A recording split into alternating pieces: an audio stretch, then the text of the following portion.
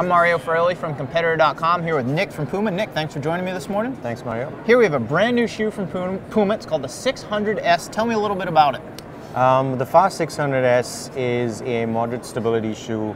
It's a women's specific shoe, so women's specific midsole, outsole, upper fit, um, built for the female runner. Okay. And what necessitated the need for this shoe in the marketplace?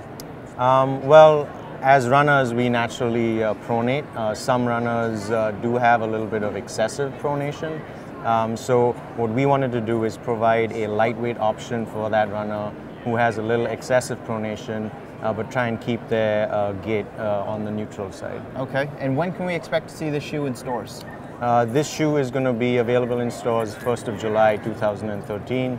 Um, and the key technology over here, over here is engineered stability. So um, we basically provide stability on the medial side um, without TPU, without a second density. It's all engineered in that one-piece midsole, um, and it's uh, really cool. And it feels light on the foot. And how much is it going to retail for? Uh, the retail price on the shoe is uh, $100. Okay. That is the Faas 600S from Puma. Look for it in stores this July.